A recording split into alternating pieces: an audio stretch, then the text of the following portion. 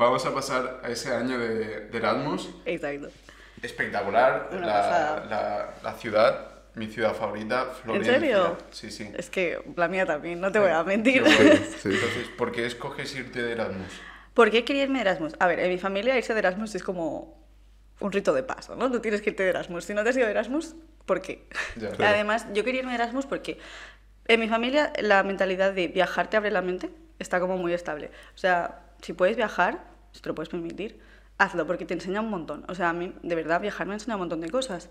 Y yo en el Erasmus, de verdad, aparte de que me lo pasé muy bien, obviamente, yo aprendí mucho. El hecho de vivir tú sola en otro país, otra cultura, otra comida, otro idioma, eso te abre la mente un montón. O sea, y eso es mejor educación, no voy a decir que una carrera, pero que algunas cosas, ¿no? Y a mí me gustó muchísimo la experiencia, tanto la de Florencia como la de Viena. Las dos, una pasada. Qué bueno. ¿Y cómo fue esa, esa experiencia? Vamos a enfocarnos en Florencia. Sí. ¿En qué eh, universidad fue? Yo fui a la Universidad de Florencia, o sea, la UNIFI, y sí que es verdad que como aún estábamos un poco con la pandemia, estoy todo el rato con la pandemia, pero es que de Ya. verdad que la pandemia estuvo súper presente en mi Claro, carrera. claro, claro. Fue boom. Entonces, claro, aún estaban un poco con el- todo el tema eh, clases online, eh, no presencialidad, tal, que es un poco rollo, pero bueno. Entonces, yo recuerdo que solo pude ir una vez a la universidad a hacer un examen escrito. El único examen escrito que tuve, porque no sé si lo sabéis, pero en Italia los exámenes son orales Ya. y en italiano, ¿sabes? Ostras. Entonces es un poco jaleo, que luego sale bien, porque el italiano tampoco es tan difícil. Y por ejemplo, mi amiga y yo, que se vino conmigo también de la carrera, eh, italiano teníamos un poco tocado porque nos gustaba mucho Italia. Entonces, un poco de italiano sabíamos. Y luego, realmente, la carrera, o sea, la- el- los conocimientos no cambia mucho una palabra. De, por ejemplo, biología, el italiano es biologie, ¿sabes? Tampoco cambia mucho eso, puedes superarlo. Además, se parece mucho al valenciano, o sea que Ostras. eso Ojo. sirve. Y la experiencia muy guay a nivel estudios, un poco como que me quedé un poco insatisfecha porque no pude ir mucho a la universidad y tal, pero yo hice un montón de amigos con los que a día de hoy sigo en contacto, que luego ellos han seguido pues yéndose a vivir a Australia, Nueva York, tal, o sea, Joder, una vez empiezas ya no Ya. paras. Y luego la ciudad es preciosa, es que no tengo, es que no tengo nada más que decir Ya. de Florencia, es que es una pasada, además pequeñita, manejable, o sea, andando llegas a todas partes. Bueno. Yo vivía en el centro, me acuerdo, a cinco minutos del Duomo de Florencia andando, o sea, es que un sueño. Y yo es que es una experiencia que recuerdo con tanto cariño. O sea, Y por ejemplo, ¿Fuiste seis meses? Fui seis meses, Ah, exacto. seis Fui de meses. febrero a julio. Vale, vale. Vale.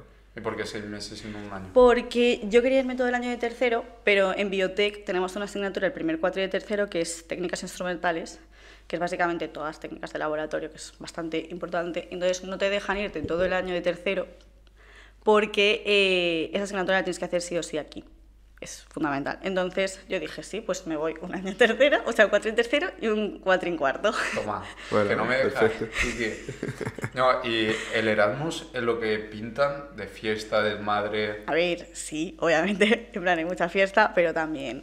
Yo, a ver, en Florencia estudié poco, tengo que decirlo, no voy a engañar, pero en Viena sí que estudié bastante.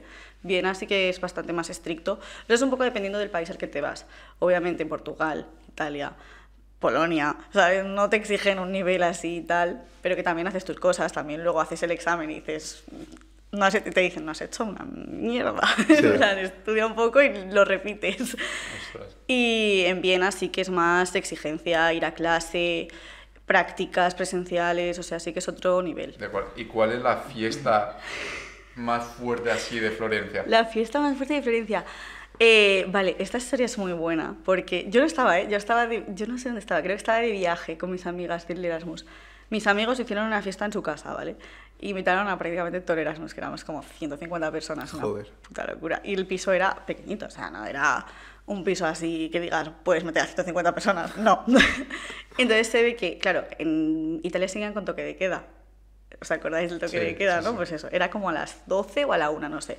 El caso que a las 3 de la mañana se veían ahí todos borrachísimos de fiesta, tal. Fueron los carabinieri, que es como la Guardia Civil italiana, eh, la gente saltando por el balcón. Salieron en las noticias, en el periódico. O sea, fue eso. Joder. Y ponía algo así como los españoles ilegales, o algo así, en plan, una- los españoles organizan una fiesta ilegal en Florencia, no sé qué. Los españoles ilegales. Ay, y también salió una vez en el periódico en Florencia, es que salíamos mucho en el periódico, éramos famosos, éramos celebridades, porque había un parquecito en Florencia que hacíamos allí, bueno, botellón, ¿no? Porque era como pues como si fueras al río, ¿no? A estar ahí con la manta, comiendo, con un vinito, tal. Y entonces era eh, cuando era zona roja Florencia, que básicamente no podías salir de tu casa. Sí. Pero estábamos ya desquiciados, llevábamos un mes así, había que salir de casa. Y nos pusimos ahí y nos hicieron una foto a Ostras. todos, éramos como 50 o 60 personas. Bueno.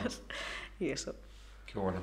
Ojo, eh. Cuidado con los españoles. Poca broma. Cuidado. vetados Entonces- en Italia, Tiene un cartel ahí en Florencia. con mi Elena, cara, va a en plan, no entrar. Se pasa. busca. Vamos a pasar a Viena. Venga. ¿Cómo fue ese cambio? ¿Cómo fue ese cambio? Pues es una locura de cambio, porque claro, yo Florencia me fui, sobre todo por el tiempo, de Florencia me fui de invierno a verano, claro, entonces primavera, verano, claro. súper guay. Y en Viena me fui de septiembre, verano a enero, que yo en enero en Viena lo pasé fatal, o sea, yo Joder. estaba todo el rato mala, todo el rato, o sea, no podía estar más constipada. Y a mí lo que me gustó mucho de Viena, sobre todo, es que está en el centro de Europa. Entonces tú puedes ver, o sea, yo he visto Europa, pero de todo. He estado en Polonia, he estado en Budapest, he estado en Praga, o sea, a mí me encantó eh, Viena por eso y también es que Viena es preciosa. O sea, Floren- lo he dicho de Florencia, pero es que Viena es una pasada. No sé si habéis estado, No, pero yo- Viena no. Florencia sí, eh. Florencia. Florencia Cu- cuidado, dúo Florencia, eh. cuidado. Porque eh, Viena es eh, mi iglesia favorita, es la de Karlsplatz, que no sé, seguro que sabéis cuál es, porque si os enseño una foto seguro que sabéis cuál es, porque es mitiquísima de Viena. Yo podría haber vivido ahí, o sea, en, en la fuente esa que tienen enfrente. Es que no me cansaba de mirarla. Y Viena lo que fue fue más tema más exigente, como os he dicho, más estudio serio ¿no? de, de la carrera. Entonces yo lo que tenía en Viena que me gustó muchísimo fue asignaturas de laboratorio como tal. O sea, no asignaturas rollo estudiar, tenía asignatura que era solo laboratorio. De, eh, por ejemplo, toxicología. Entonces tenías que estudiar lo tóxico que era un fármaco en unas células que ellos te daban. Pero tú te tenías que organizar qué experimentos ibas a hacer, en plan, qué técnica vas a utilizar, y eh, te daban una semana y te decían, vale, qué semana, o sea, qué día de la semana vas a hacer tal, qué día de la semana vas a hacer tal cual. Entonces es como que eso te abre un montón la mente a nivel empezar a trabajar ya real- realmente, porque yo aquí era, tú llegas a las prácticas de la UPV, sin ánimo de desprestigiar, pero tú llegas y te dan un papelito y te dicen, mete tal en no sé qué, haz no sé qué. En plan, no piensas nada, no, Claro. haces lo que te dicen. Y allí era muy, eh, vas por libre, obviamente te supervisan y te dicen, esto no lo puedes hacer, o esto mejor hazlo tal día.